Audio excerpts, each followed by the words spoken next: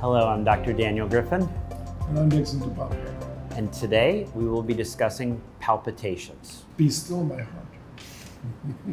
I guess this would be that's what people come in wanting. They want their heart to be still, and they feel like the heart is not be, being That's right. still. That's right. Um, this is actually very common, I have to say. It's a very common reason why people go to the to the clinician, uh, and it's very worrisome because people worry. They worry about their heart because your heart is something that needs to be working all the time. indeed. Can't take like a few hours off. As opposed to your brain. Your brain can take a few hours off, and it's okay. Every night, my brain takes a little bit of a little bit of a pause. Um, at least part of the brain. The lower part keeps me breathing, and the rest, but the higher function. I hear that. I Um, hear that. but but the heart. Let, let's talk about um, a little bit. What what do people mean when they say I'm having palpitations? yeah, what does that mean, actually? Yeah, and there, there's several different ways that um, that it can present. They could say they feel an irregularity, and the more they pay attention, the more they notice. And um, so people are used to, or people are almost in the background to the fact that the heart is beating bunk, bunk, bunk, nice, constant rhythm. Right. And when there's a little bit of a pause, or there's a beat that is stronger than what they're used to, That's or upsetting. or there's a bit of irregularity to it, um, even if it's not affecting the blood pressure, even if it's not affecting how they feel, if they recognize that, that can be something that brings a person into medical attention. Yep. Um, so what we're going to get to the point where we talk about it having an actual effect upon the hemodynamics, the blood supply to the brain, etc. But just the irregularity um, will will bring them in with concerns. About half the time when someone comes in saying they have palpitations, about half the time it's a primary heart issue. About half the time it's other issues. It might be psychological. Um, it might be that they've drug related, and by drugs, it might be that they had a double espresso. They might have had like a really strong coffee. Um, they may have had something sort of um, less socially acceptable. Um, so there are other things that are not primarily heart related that can cause palpitations. Interesting. But palpitations, like so many of the common complaints, are so very often benign Right. that we want to be careful to identify those that are not benign, those that are actually um, suggesting something more serious is going on. And how do you do that? he asked. So I think there, I'm going to say there's two main ways we're going to do that. Um, one of the first is to try to get a sense when they tell you, describe it, beat it out on the table for me, uh, because there's a there's a bit you could do in the history before you even sort of lay hands or listen or bring our technology to bear. So sometimes they'll describe, and I, I try to get them to tap it out if they can. Go tap, Ah. tap, tap, tap, pause, bunk, tap, tap, tap, pause, bunk. Now that that would be a, a classic presentation of what we call a premature um, depolarization. And so what's happening is the what they're feeling is Yeah. actually the beats are fine, but then you get electrical activity and contraction before the heart fills. And then the next beat after it, the heart is now filled even more, and then they feel that large beat. So you're going to see on your electrical activity, which we're going to talk about how we do that, you might see the beats along, and then you see this pause, and then um, another thing they might describe, and this is quite common as a person gets older, is that it's just completely irregular. There's just no rhythm to it. Bum, bum, bum, bum. It's just Eek. yeah. Um, sometimes the palpitations are um, little spurts of really quick heartbeats. Say I'm going along, it's fine, and I'll have boom, boom, boom, boom, boom, boom, and then it'll be fine again. Would you call that tachycardia? So tachycardia. Um, another thing they might describe for you is the heart goes really slow for a while. And so everything's fine, and then they have periods of slow heart rate. Um, sometimes they'll be describing associated symptoms with the beat. So you've Right. got them trying to give the beat for you. Yeah. They may say, when this happens, I feel lightheaded, I feel dizzy, Ah, I feel like I might lose consciousness. Sure. They may even have episodes where they lose consciousness. Um, they may tell you that when I get this, my lips start to feel numb and tingly, and my fingers start to feel numb and tingly. Eek. That, interesting enough, is usually psychological. Really? We see that um, a lot of times in individuals that are hyperventilating from anxiety, Ah. and they're actually affecting the, the. And what you want them to do is stop hyperventilating.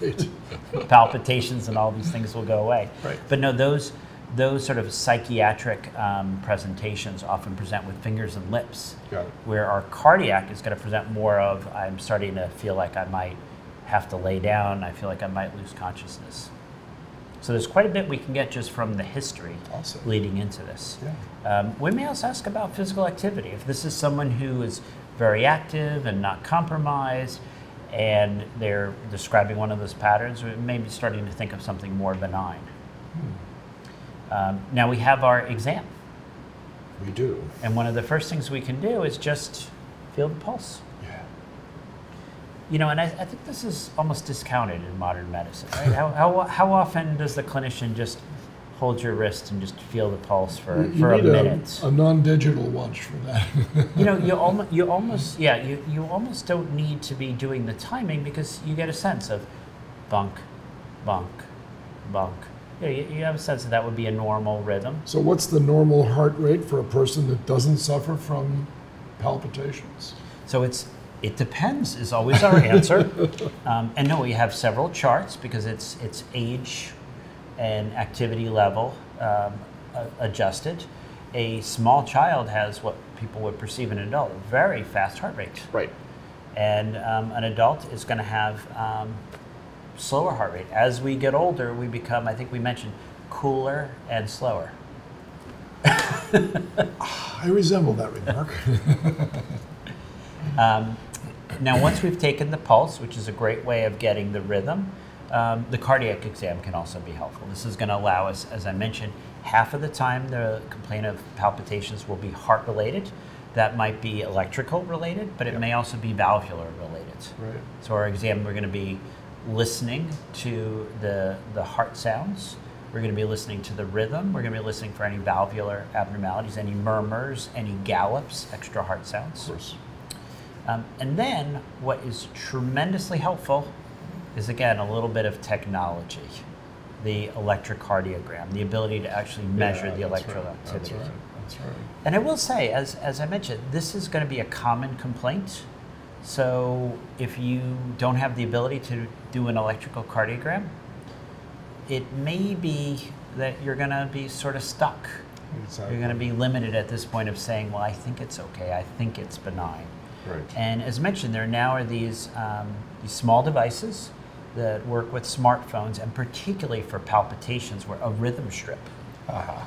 a really just a you know limited lead EKG is going to allow you to look at the rhythm and then see are we you know and what is wonderful is to have a patient watch the rhythm strip you can actually Right. set up the phone and they've got their fingers on the electrodes and then um, have them tell you when they feel the symptoms Right. a certain percent of the time um, it'll occur frequently enough that you can actually capture it right there Hmm. um, it might take a little time. Yep. Um, you know, you might ask an assistant, you know, have them sit there and do this. It might take a little longer than, you know. Um, unfortunately, sometimes you need to do a full multi-lead or we call 12-lead EKG. And then in some, some situations, and this is going to be a resource is, issue, is they have 24-hour or even longer electrocardiograph monitors. Exactly. So what about treatment? What are you going to treat? What if it's not caused by anything? Stop drinking that latte. so yeah, so that's great. So so nu- number one in most situations, you're going to be able to reassure them. exactly. Mo- most palpitations are benign. right. Most palpitations, by the history, by the lack of concerning symptoms, um, possibly by electrocardiogram, will be benign. But the person will get into a cycle of noticing it and getting more concerned, and noticing it yeah, and getting more right, concerned, right, and then I, that's I think they may even be having more palpitations because they're now anxious. Um, so that can be one thing. Often it's often it often, and I say in most cases, it's that. Um, sometimes it can be something more serious, Sure. where you may even need to refer them to somebody else. Um, and then sometimes, and I, and I want to say this is not um, common, but in some situations, beta blockers might be indicated. You might use a medicine that slows down the heart rate. See. Um, because for some people it can be debilitating. It can be so um, anxiety producing when the heart either goes fast or, or these um, irregularities are developing. I recall in the old days, I'm presuming that this is still in vogue somewhere, there are implantable devices which regulates the heartbeat when it's irregular. That's a pretty extreme way to go, but I remember the company, it was named Cordis, C-O-R-D-I-S. Okay. They were located in Florida, and I actually knew the guy who founded that company, and it was like they're implantable, and they're for people who probably have undergone some kind of a cardiological um, surgical procedure, like a valve replacement or something like this, or maybe they had bypass surgery where they had damaged portions of the heart, which affected the, the rhythm of the heart.